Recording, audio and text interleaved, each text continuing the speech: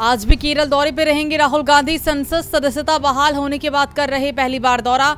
जनसभा को भी करेंगे संबोधित। छत्तीसगढ़ चुनाव को लेकर कांग्रेस ने झोंकी ताकत। आज छत्तीसगढ़ आएँगे कांग्रेस अध्यक्ष मल्लिकार्जुन खड़गे। जांजगीर में सभा को करेंगे संबोधित। केंद्रीय गृह मंत्री अमित शाह के गुजरात दौरे का दूसरा दिन। मोदी समाज के सम्मेलन को करेंगे संबोधित।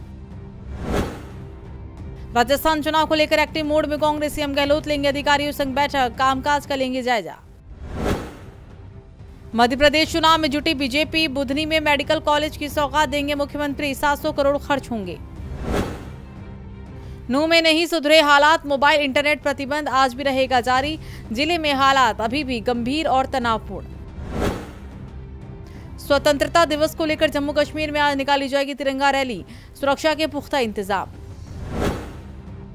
अर्जेंटीना में राष्ट्रपति चुनाव के लिए प्राथमिक वोटिंग आज देश को कंगाली से निकाल पाएँगे कट्टर दक्षिणपंथी नेता। लंबा इंतज़ार हुआ खत्म, आज से लोहरदग्गा में रुकेगी राजधानी एक्सप्रेस। सांसद सुदर्शन भगत करेंगे रवाना। मौसम बदलेगा मिजाज, उत्तराखंड, बिहार, सिक्किम, अरुणाचल, असम, मेघालय में भारी बारिश जारी रहेगी।